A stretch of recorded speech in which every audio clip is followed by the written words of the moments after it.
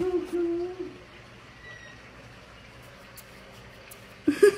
just can't get over those eyes. I know. Oh, hey. This guy just comes and hangs out with my grandma every so often. We think it's my grandpa.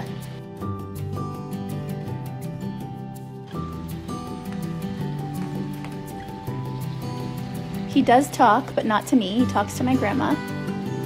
But he's very sweet. You can get very close to him. And this is where he hangs out. Sometimes he hangs out on a chair. My 98 year old grandmother now has a daily visitor, which is the coolest thing in the world.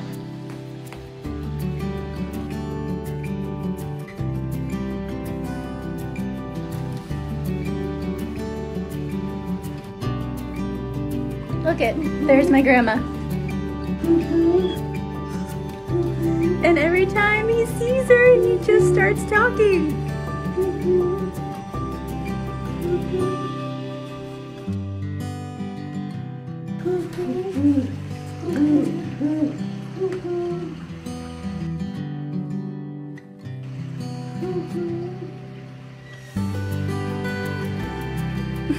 I just can't get over those eyes. I know.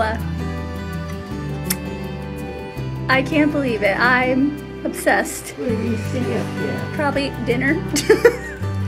Huh? What do you see? What do you see up here?